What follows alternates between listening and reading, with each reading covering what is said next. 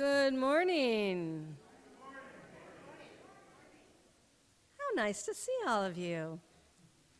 I am the Reverend Dr. Barbara Wells ten Hove, and I am a retired Unitarian Universalist minister, happily affiliated with this wonderful congregation. And I'm delighted to have been asked by our minister, Paul Beckel, who is here today, which is wonderful, to preach for you this morning. So I welcome all of you who are here in the sanctuary. Yay for that. And I know there's some of you out there through the miracle of Zoom. I'm glad to see you too. Welcome, whoever you are, wherever you come from, whatever way you're experiencing this, you are, you are so welcome. I want to tell you a little bit about a few things going on here at the Bellingham Unitarian Fellowship, also known as BUF. Uh, you should have on the back of your order of service some announcements, so I hope you'll take a look at those. But I particularly want to note um, that there is an event this afternoon in the social hall in loving memory of Anthony Penzinski, who died a few weeks ago. Um, that's at 2 today. So if you knew Anthony and want to be here, that'll be downstairs at 2. We're also looking for cooks. We're going to be restarting the community night dinners. Yay for that and we're looking for some cooks to help with that. So check out the information on your order of service for that. And then finally, the UU the Vote organization that's really working to make sure that our values get uh, heard in this co- upcoming election is unfolding here at Buff. If you have questions, please see Claire Lending.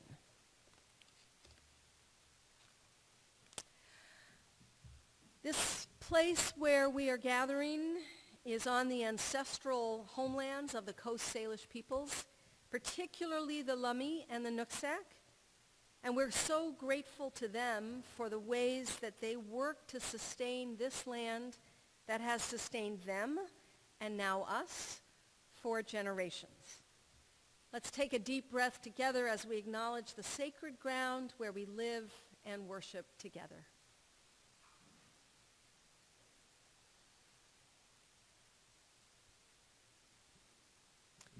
Today, I hope to give us a little perspective on the crazy world we live in. I'll be inviting us to look around and to look up through the lens of kindness and distance. I'm so grateful that my husband, Jaco, also a retired UU minister, is here with me today to provide support for this service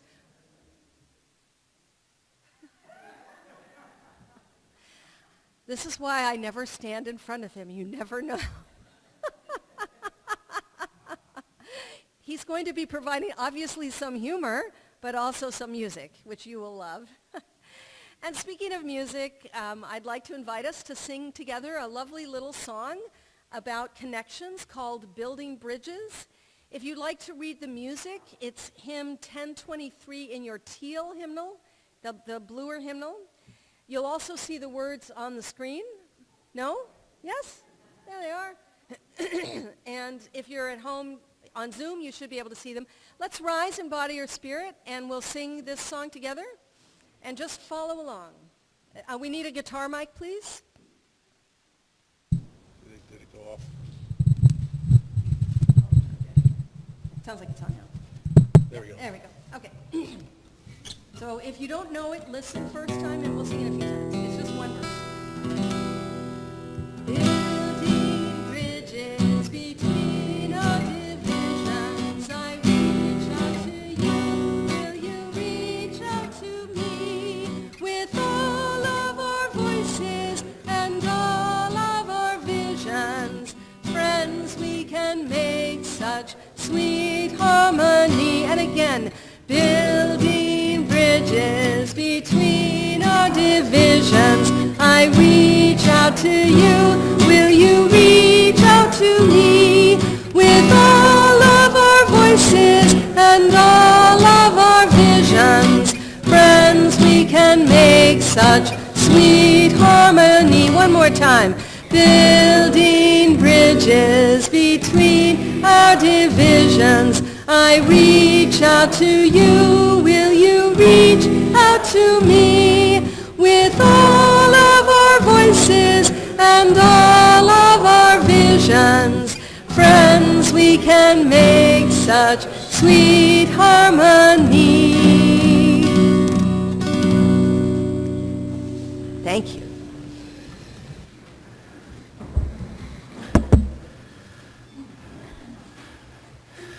And to dedicate our flaming chalice this morning, the symbol of our religion here, I wanted to uh, alert those of you that may not be aware of the existence of our summer camps. There's also a, a midwinter camp under the auspices of the Elliott Institute. These are UUs from all over the Northwest that gather out at the Seabeck Conference Center in Seabeck on the Hood Canal. I wanted to alert you to a buff connection, a particular buff connection of leadership. Um, the, and one particular camp that Barbara and I um, attended this past month, earlier this month, is called Creative Arts Elliott. There are two family camps, July and August, that are a week long, that are a family camp, and they have a theme speaker.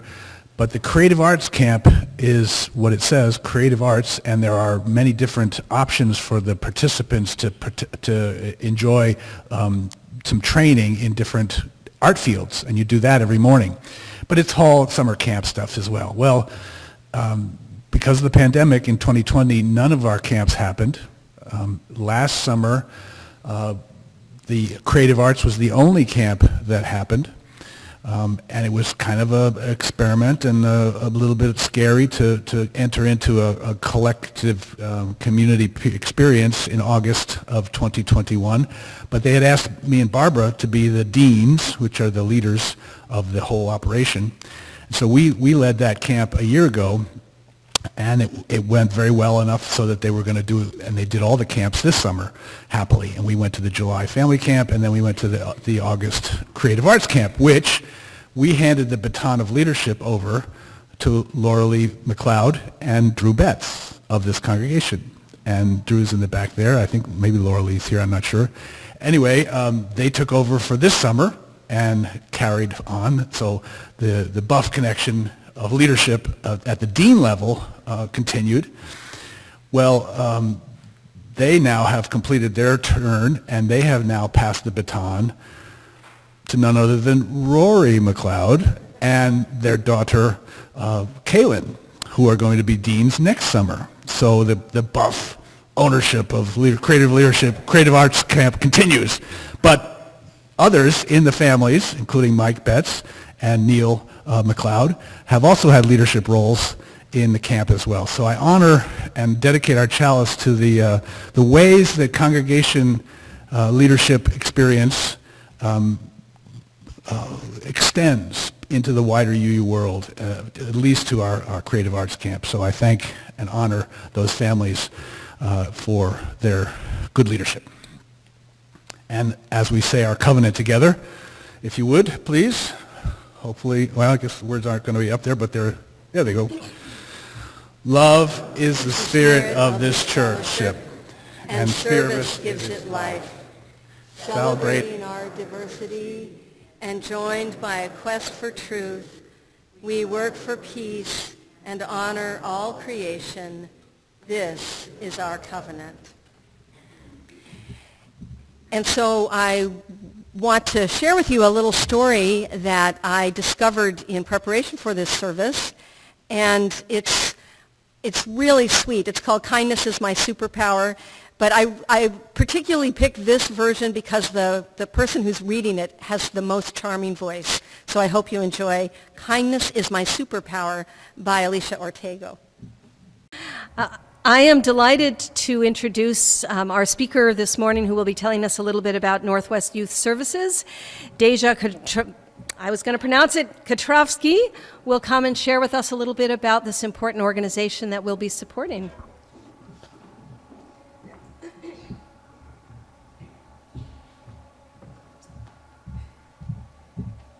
Hey everyone, so Deja Katrovsky. Uh, I married a Russian man and that's what I got.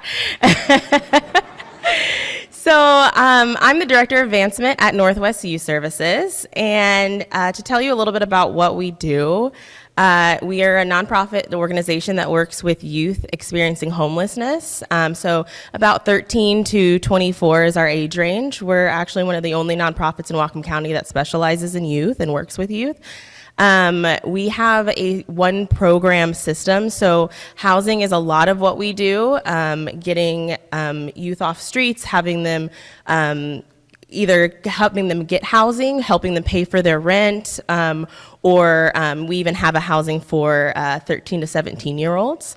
Um, and so we don't only focus on that, we really believe in a holistic approach of focusing on um, multiple parts of having a job, getting a getting education if they if they choose to do so, um, mental health, things like that. So we really try to um, be holistic in our approach and know that we believe housing first is a way is the first stepping stone to getting other things, but um, after that, allowing the youth to choose what they think is um, best for their future and helping them get to that point. Um, and so I just came into this position about three weeks ago, and I specifically came to Northwest Youth Services from a different organization because I really believe in, ooh, I could get emotional thinking about it. I really believe in what Northwest Youth Services does. Um, they, they help a lot of people and they help a lot of youth who, who really need it in this community. Wow, I didn't know I was going to cry. it will, you're right. And so I know, um, I believe Hank's somewhere here in this audience. Um, I, some of y'all might know um, about his son Mac that passed. Um, and stories like that are what makes me, knowing that our services were such a great help to such a young person, are honestly why I do this. I don't work in direct service. I do the behind the scenes, I fundraise, I do the designs, I get the website looking great because I believe that we have such amazing people who are working direct service work, um, really supporting the youth in this community. And I really see us as a community member just helping other community members. Um, and so, yeah, thank you. I appreciate um, y'all allowing me to be here today um, and inviting me. It's honestly such an honor. And this is why I do what I do, is to be able to stand in front of people like you all and um, tell stories, share about ourselves, and um, yeah.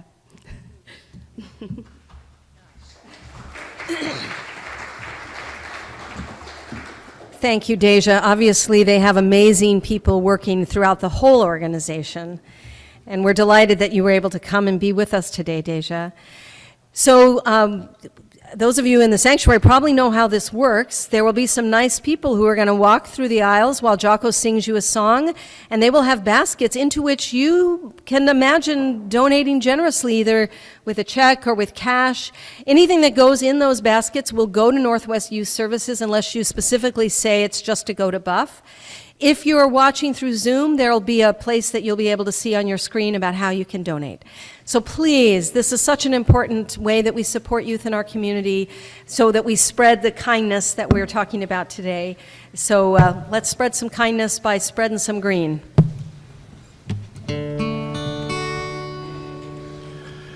And if you've been thinking you're all that you've got, well, don't feel alone anymore. Cause when we're together, then you've got a lot. For I am the river, and you are the shore. And it goes on and on, watching the river run further and further from things that we've done, leaving them one by one. And we have just begun watching the river run, listening and learning and yearning. Run, river, run.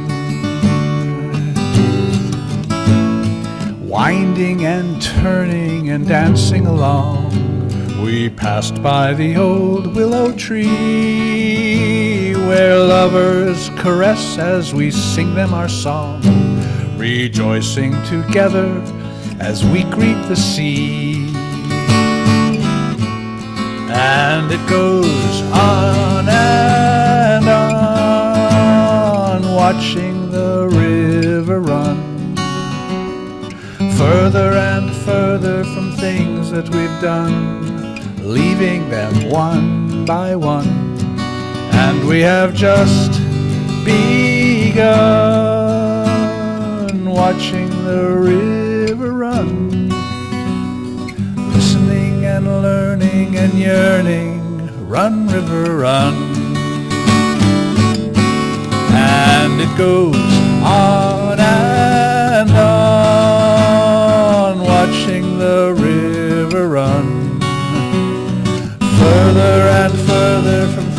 that we've done, leaving them one by one. And we have just begun watching the river run, listening and learning and yearning, run river run.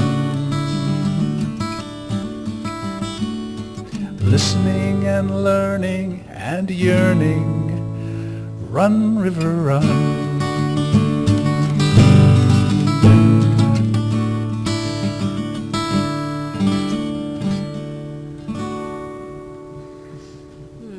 Jaco.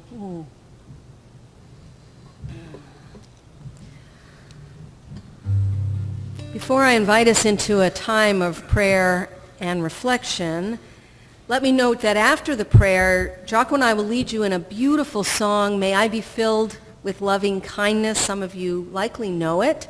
While you can let the simple words wash over you, if you wish to see the lyrics and sing along, it's hymn, it's hymn 1031 in your blue hymnal.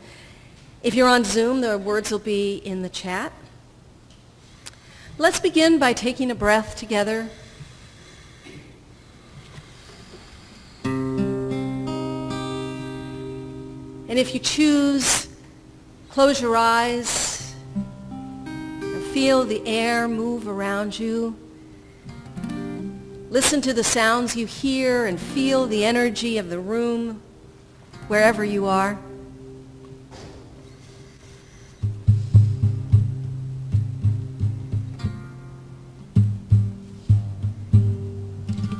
Gracious one whom we call by many names, our prayer begins, as all prayers must, with thanks. We give thanks for the blessings of this world, of friends and family near and far, of homes to live in, and the natural beauty of our green and blue planet. We even give thanks for the remarkable ways technology serves us, allowing us to be together in ways no one could imagine even just a few short years ago. Allow a sense of thanksgiving to fill you and be grateful and breathe.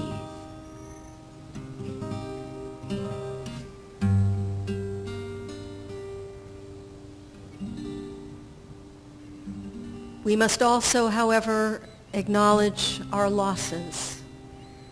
There is so much sadness and grief in the world today. People are dying from the pandemics of disease, hatred, racism, and fear. People are suffering and our hearts ache in response. Let us pray for healing not only for those who are ill or grieving, but also for those wallowing in hatred, greed, and enmity. May all people everywhere be healed and turn in new ways toward a better future.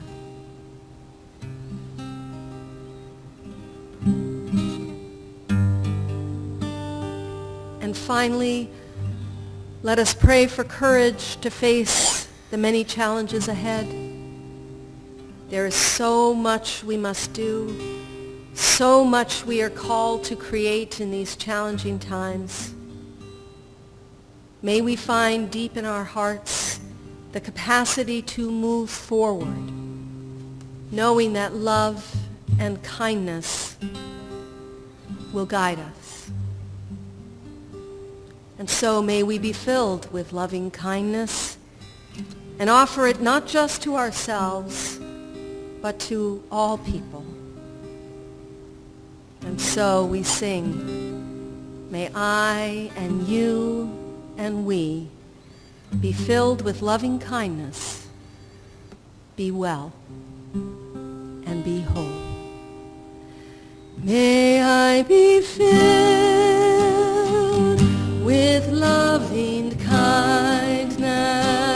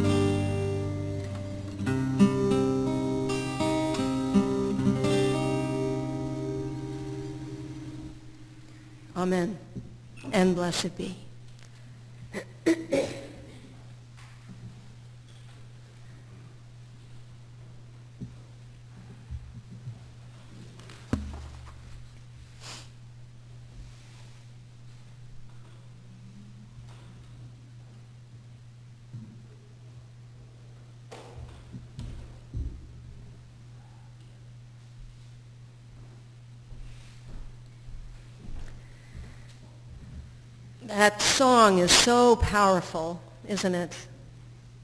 It just puts the energy of loving kindness right into your body and then offers it out into the world. I'm grateful to the Buddha and Thich Nhat Hanh for putting the concept of loving kindness out into the world, and to two of my colleagues, Mark Hayes and Ian Riddell, for setting it so beautifully to music.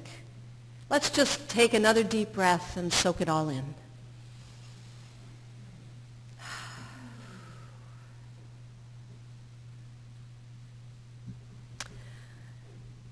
This has been one hell of a two plus years, hasn't it? Like many of you, I can get pretty exhausted by the stress. It seems like every moment of every day requires that we do something, fix something, learn something, anything to make things better. Because so much is broken, it can just be overwhelming to see a path of healing and hope.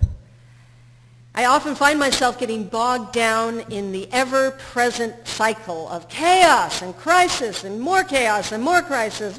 And perhaps the same is true for you. It's so easy to obsessively scroll through the news feed and forget to look up or look around to see what's beyond our screens. Well, this morning I want us to do both. Look up and look around to get some perspective on these times we're living in.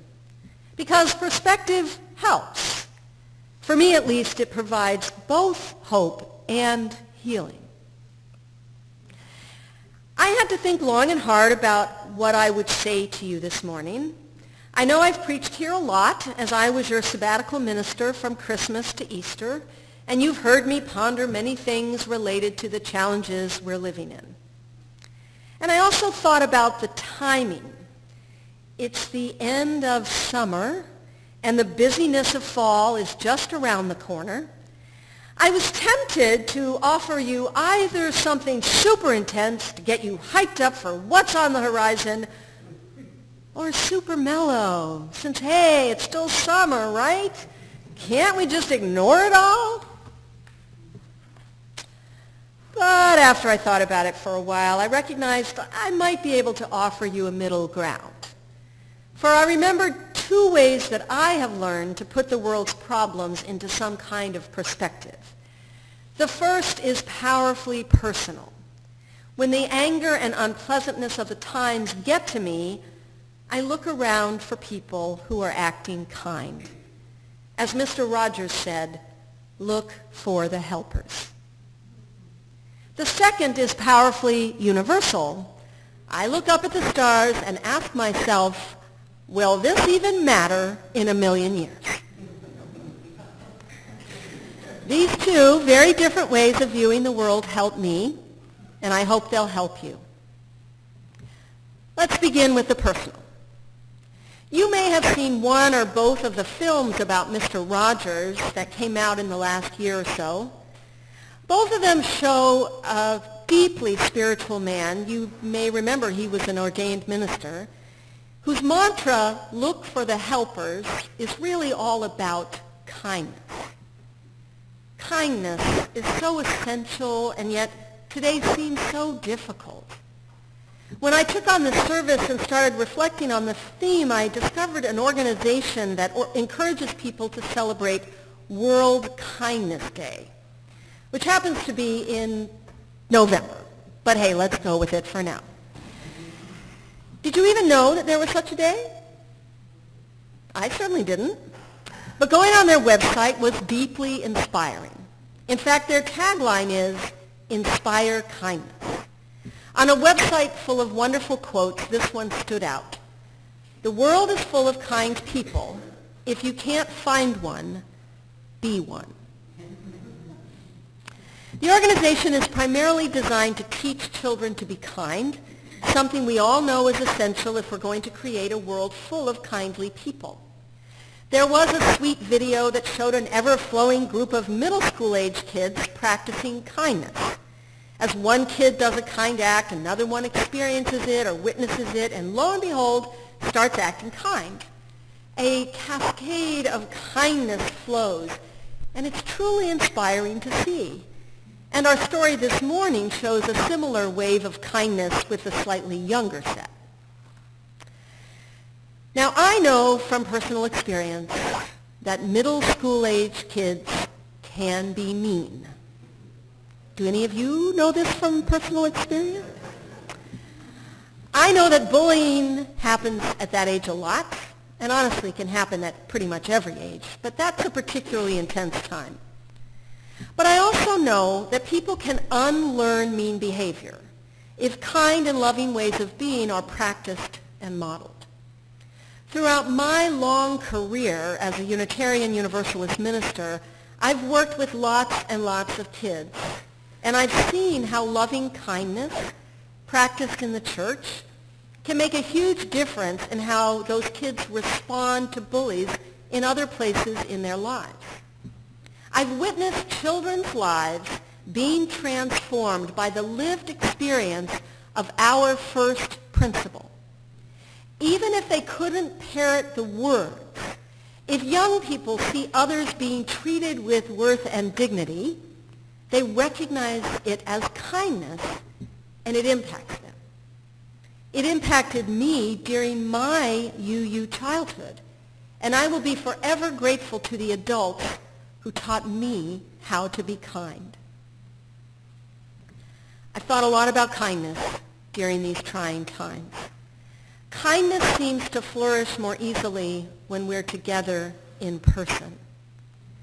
Kindness has suffered, I think, due to the distance we've been required to keep from each other as we sought to stay, stay, as we sought to stay safe during this pandemic. In the distant past of three years ago, a parent whose kid was bullied at school might be encouraged to invite the bully over for milk and cookies to aim to build a better relationship. Milk and cookies help a lot when we're trying to reach out to someone we're mad at. It's hard to stay mad with chocolate chip cookies in your mouth. So I wonder what might be the metaphorical milk and cookies we could be sharing now. When the world seems so crazy, what simple acts might we do to make things a little kinder? Now, I'm going to ask those of you here in person to help me with a brief time of sharing. And for those of you joining through a screen, I apologize, but hope you'll think about this on your own. I'd like to invite you to share with our gathering ways that you've either experienced or offered kindness in the recent past. If you have something to share, and please don't be shy about blowing your own kindness horn. You're allowed to tell people how you've been kind. I'm going to invite you to come forward. You see this mic on the floor. This is so people on Zoom can see you. invite you to come forward, tell us your name, and very briefly share how you either gave or received kindness recently. So I know there are a few of you out there. Come on down. Oh, Stephanie's going to lead the pack.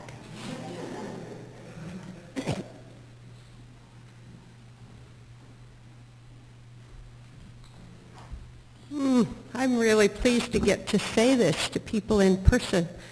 I'm Stephanie, and my grandson was diagnosed with leukemia in June, and I set up a GoFundMe and a Caring Bridge and the number of people, even from this congregation, who don't know me particularly, who have donated to that, has been an incredible kindness.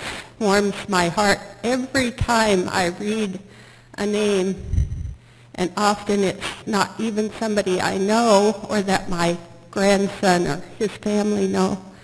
And that kind of thing where something pretty terrible happens and we all reach out to each other is the most heartwarming kind of kindness that I wanted to bring forward today. So thank you. Thank you, Stephanie. And, and once you come on down so you don't have the walking time. Hi, everybody. Um, my background was in dementia care before I moved up to Bellingham. And I used to always say that my favorite thing to do was to give people a hug. Because when you give a hug, you get a hug back. so if you see me down at the coffee hour, feel free to hug me. And then it's an act of kindness on both sides. Thanks, Naomi.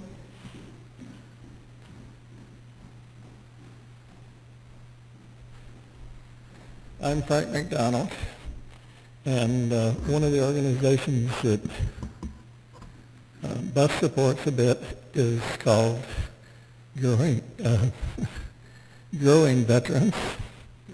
They have a farm out on uh, King Tut Road. I tried to figure out how to, how it got its name, but nobody ever knows. But anyway, the, uh, I also belong to the Elks, and we have some national uh, grants that we get, one for veterans, we got a thousand thousand dollar grant this year to help them build a chicken coop. So on October 8th, we are going to take all the stuff we bought and their chicken coop that is in kit form, build a chicken coop and put the chickens in a proper, uh, properly and safe place to to do their thing. And then if, if anybody wants to help us, we'd be glad to have you come. Thanks, Frank. And we'll have one more with Sky. I uh, have an alter ego where I work for the Alaska Ferry, and um, I was filling in in the staging area, which is this uh, kind of fun, easy job where people drive up in their cars and you tell them where they, ask them some security questions and tell them where to line up in time to get on the ferry. And so I was there uh, a few weeks ago, and um, it was 10 till 3. So everybody's supposed to be in the lot at 3 o'clock. That's when they start loading the ferry, which leaves at 6. But they take a long time to load everybody. So 10 till 3, this woman drove up, and she, you know, I asked her the questions. I tell her what lane she's going to be in and so forth. And she said, is there a store nearby, just a little store. I just need a few uh, food items, and my daughter needs an outfit to wear to school, and you know, do I have time to do that? And I said, well, technically you're supposed to be in at three. And she said, well, you know, it's, you know, it's okay, I guess. And then, then she told me that she had just driven from Florida in five days with her daughter and a baby, and they were going to Alaska because she'd gotten a job. And the way that this all happened was her friends had helped her with the cost of driving and getting things arranged and so forth. And she really, she said, I can't miss this ferry. I really have to go, I have to get on the ferry because I really want this job. And she was like maybe in her, well, she had a teenage daughter, so maybe she was in 40 years or old or something like that. And and I said, well, you know, actually the fact of the matter is I keep these gates open until 5. There is time. If you want to do this, I'll, I'll wait for you. And she said, well, I don't want to miss the ferry. I don't want to miss the ferry. I said, you won't. It's a, I'll be here, do that. And she said, well, where can I go? I said, you'll go to Fred Meyer's. She said, well, where's Fred Meyer's? I said, well, it's just, you just got off the freeway, go back to the freeway, go two exits, and so forth. I told her all about it. So she left. So the afternoon's kind of quiet, just a few people, you know, showing up late, and then it comes 5 o'clock, and so she's not there, and, um, you know, thinking about her and the baby and the teenager and stuff, and about 10 after 5, they zoom up, all smiles. They said, not only do they have teenage clothes, oh, because she asked me, does Fred Meyer's have teenage clothes? I said, yes, it has teenage clothes. They found clothes. He said, oh, and we got stuff to eat. We were all kind of grumpy because we were hungry. And we're all set, you know, thank you so much. And it was like, I don't have a chance often to do something kind and have a, you know, immediate, like, feedback. But I'll remember that, that just sort of finding a way for her to do that meant so much to her. She was super grateful to me. And it's just a very important experience for me to have. So Thank you, Sky. Thank you. Thanks, everybody. Well, I'm sure that there are so many ways that people here are practicing kindness, but let's move on and just reflect for a moment. Will these acts bring about a new and more enlightened government or stop climate change? No, or at least it isn't likely. But sometimes we need to be reminded that a simple act of human kindness can heal a broken heart, mend a fractured friendship, or let somebody get their teenager dressed the way the teenager wants to be dressed. These things matter. So I find when the news feed goes nuts and I'm inundated with bad news, it helps to remember that most people are kind and caring. And it's kindness and caring that will move this world along. Yes, I know we also have to do the hard work of justice making. I know we need to help build stronger institutions that will carry our values forward. I know we need to get out and protest. But when you've done as much of that as you can, and you need to heal your aching heart, just take a moment and remember all the ways you and others are being kind. Look for the helpers be a helper, and then look up at the sky. Before I share some thoughts about the sky, I'd like to invite you to listen to a piece of music. Jaco's going to play his harmonica along to a recording of our friend Nick Maxwell from the Edmonds UU Church where Jaco used to be minister and where I preached a few weeks ago. And uh, you'll hear Nick on piano through the miracle of modern technology, and you'll hear Jaco on harmonica through the miracle of being together in person. So as they, as you listen to this music, reflect on what you'll do today to spread and inspire kindness.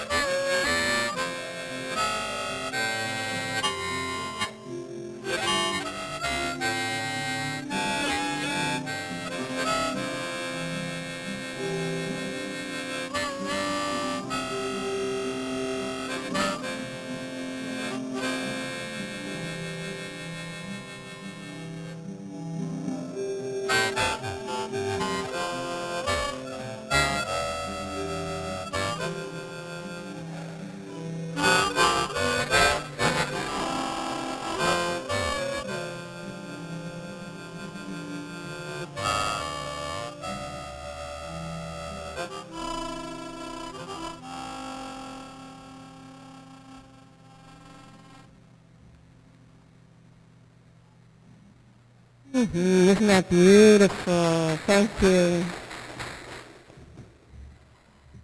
Well, hearing music such as this gives my spirit a lift and offers me and perhaps you a little glimmer of hope. And speaking of glimmering and all of that, Let me turn now to the second of the two ways I'm finding hope and healing in these trying times. While the personal is hugely important and celebrating kindness and caring when people are acting so ugly, as my mother used to say, really matters. And it's one way of gaining perspective. But moving really, really, really far away from the personal can help as well. And for that I turn to the sky. We live in the cloudy Pacific Northwest where stargazing is challenging. But this time of year, we sometimes get lucky and have those glorious clear nights, and particularly in August when it gets dark a little sooner, it can be really nice. And just a couple of weeks ago, Doc and I were fortunate to be at Seabeck Conference Center on the Hood Canal where that wonderful camp Jaco mentioned took place. And as we walked back to our room one night, we gazed up into the dark sky and saw the Milky Way in all its glory. Most Americans live where light pollution or clouds make seeing the Milky Way very difficult. But it's true that, far away from city lights, it's shown across the sky. Looking at the stars is a very humbling experience. Despite all we've learned over the past centuries about time and space, what's up there is still very mysterious. And even with the incredible images beaming across space to us via, via the amazing new James Webb telescope, there's still so much we don't know. So much we may never know about the stars. What look like tiny pinpricks of light, diamonds scattered on a black velvet cloth, are really giant suns pulsing with energy. Our human ancestors saw gods and goddesses up there. They told stories about the ways the stars moved and the planets, too. Now we know that most of those tiny lights are actually suns like our own, far, far away. Who knows what's happening in the deepest, darkest parts of space? Maybe there are creatures up there looking our way and wondering what's circling around our sun. I don't know. No one really does. And I love that. I love not knowing. Many years ago, a colleague of mine taught me to approach mystery with open eyes and a gasp. I don't know. Such an approach is a powerful antidote to the mundane realities of our crazy world. Because we don't know what will happen. The story is unfolding. And looking at the stars can remind us to take a deep breath and have a little faith that not knowing the end of the story isn't always bad.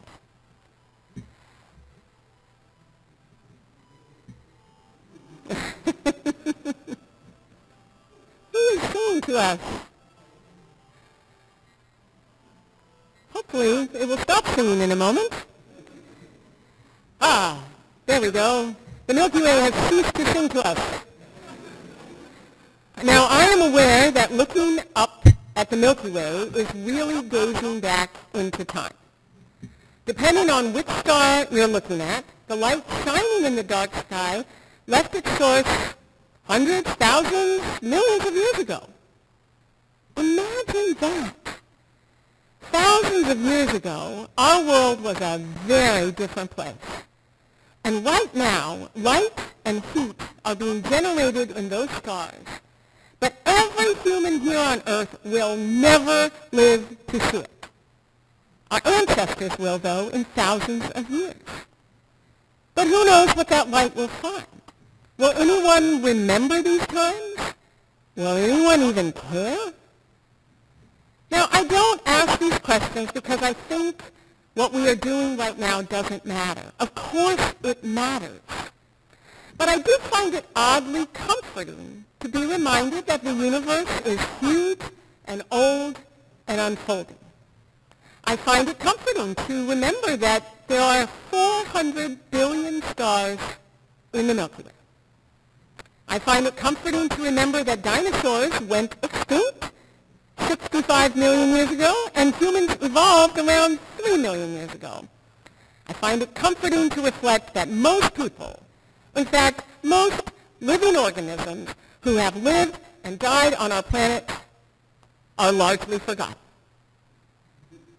And I can't remember who, I can't predict who will remember us, or if there will even be an us, hundreds, thousands, or millions of years from now. Why I find this comforting is, I know, a little strange. But it truly puts everything in perspective, and at times like these, I find that helps. Because the earth is a lot older and stronger than humans. And I know that it will survive and evolve in new ways with or without us. And yes, I find that surprisingly comforting. It's a very large way of understanding our seventh principle and the underlying reality that everything is connected throughout time and space in a great web of existence. And isn't it wonderful that the latest telescope is called Webb? I mean, how cool is that? Now, don't get me wrong. I know we humans have a lot to answer for in, ways, in the ways our planet is changing, ways that are hurtful not just to us, but also to the rest of creation at this moment in time. There are so many things we must commit ourselves to work at, in particular the challenging reality of climate disruption. I believe, along with the rest of you, I'm sure that we should do all we can to make a difference. But I also know that evolution will do what evolution has always done. Change and grow in unexpected ways. And oddly, that gives me hope and makes me feel a little bit more whole, a little bit more healed. Thousands of years from now, when all of us are long gone, the light from a star will reach the surface of the earth, and there's no way to know what it will find. But today, I'm going to have hope that it will shine on an evolved human species full of kind and generous people on a green and welcoming earth. In the meantime, like Mr. Rogers, I'm going to look for the helpers and practice kindness, at least today. Yes, I know being kind is just a small first step toward making justice come alive in our neighborhoods and our nation and our planet, but first steps matter, and small acts of kindness may bring about the turning and the healing of our world. And that leads me and us to conclude with a wonderful song written by Albany, New York native Ruth Pelham, who for decades brought her music mobile into neighborhoods throughout that city, helping children learn music while building community and creating hope. As far as kindness goes, she's a star in the Milky Way. As Doc and I sing this for you, feel free to join in as you get a sense of it. Some of you may even know it. It's one of those songs that sounds like uh, like it was made up uh, a hundred years ago, but she wrote it, and we thank Ruth for permission to sing this song for the turning of the world for you.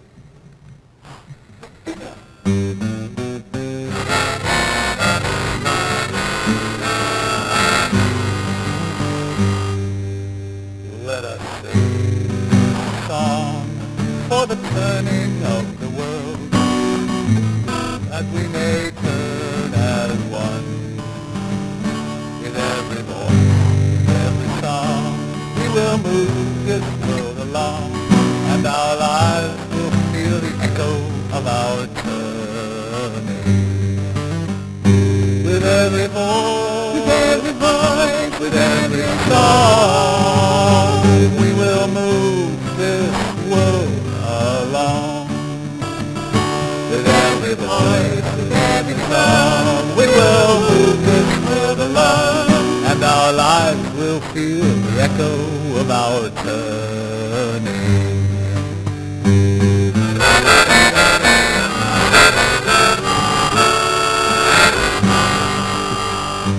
Let us sing this song for the loving of the world. that we may love as one. With every voice, with every song, we will move this world along, and our lives will feel the echo of our loving. With every voice, with every song, we will move this world along. With every voice, with every song, we will move this world along, and our lives will feel the echo of our love.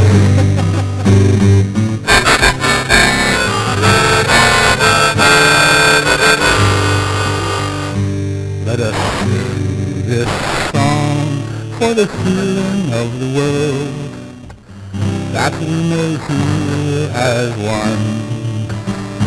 With every voice, with every song, we will move this world along, and our lives will feel the echo of our healing. With every voice, with every song, we will move this world along. With every voice, with every song, we will move this world and our lives will feel the echo of our healing. And our lives will feel the echo of our lives and our lives will feel the echo of our But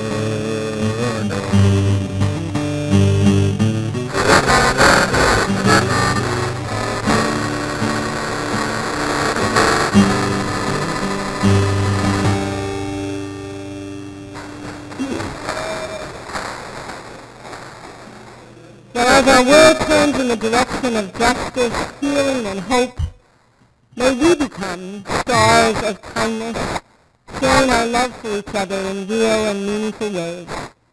As Jaco extinguishes our flaming chalice, the symbol of our faith, may we believe deep in our souls that the healing of the world is possible if we make a commitment to share our light, our love, and our lives with each other and with our creation. And now, let us circle around the song we sing each week at the end of every service, reminding us of our commitment to the next generation.